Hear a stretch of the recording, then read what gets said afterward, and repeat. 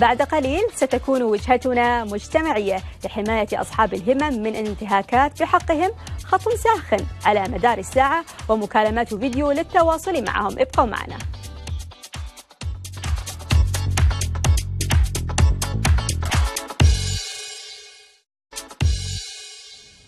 أهلا بكم من جديد.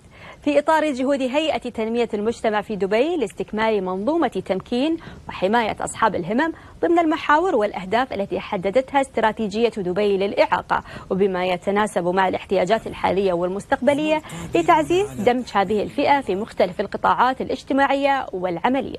أطلقت الهيئة نظام نظاما متكاملا للإبلاغ عن الانتهاكات بحق أصحاب الهمم يتيح لكافة أفراد المجتمع التواصل مع الهيئة وتسجيل أي ملاحظات لديهم تتعلق بحماية أصحاب الهمم إضافة إلى الاستفسار عن مختلف الخدمات والقوانين المتعلقة بهذه الفئة.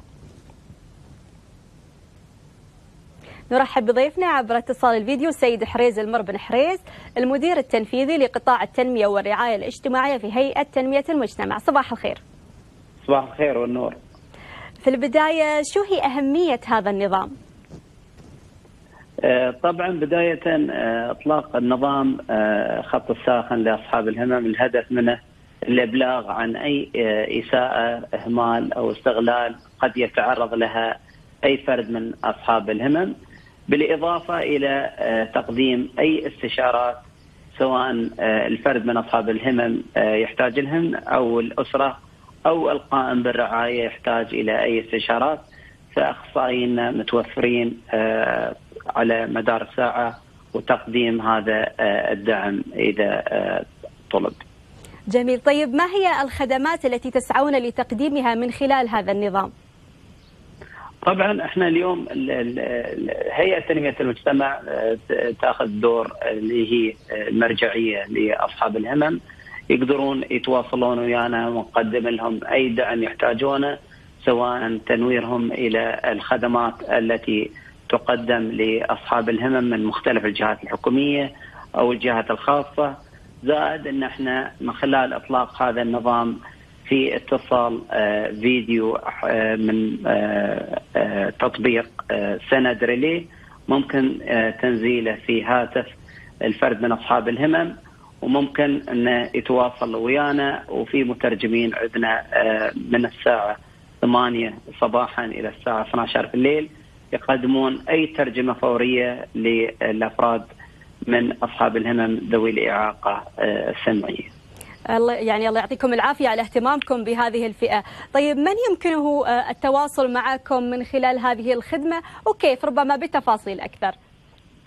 اليوم إحنا نقول الفرد من أصحاب الهمم بحد ذاته يقدر يتواصل ويانا ونقدم له كل الدعم اللي يحتاجه زائد دوائر الحكومية إذا مواجهين مثلا صعوبة إلى توصيل الرسالة على سبيل المثال لأصحاب الهمم من الإعاقات السمعية.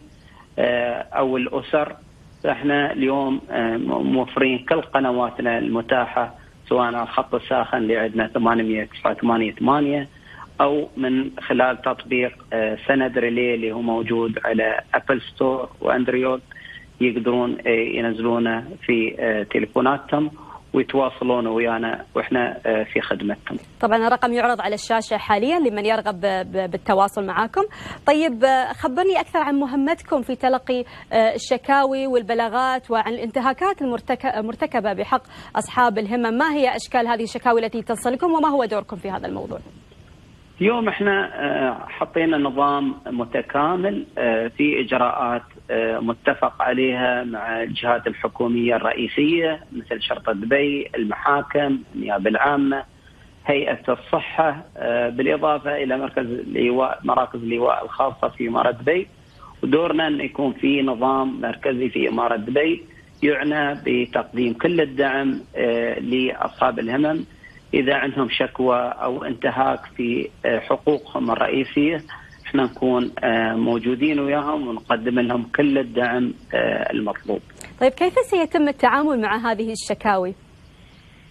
اليوم إحنا نستند طبعا إلى قانون حماية ذوي الإعاقة عندنا أخصائي حماية عندهم الضبطية القضائية في إجراءات واضحة مع النيابة والشرطة والمحاكم يقدرون ينزلون على مدار الساعة ويتأكدون من الانتهاكات اللي والبلاغات اللي وصلتنا بحق الانتهاكات ونتأكد منها ويتم عمل اللازم. هناك كذلك طبعا خدمات أخرى ينظمها يقدمها هذا النظام ما هي خبرنا عنها؟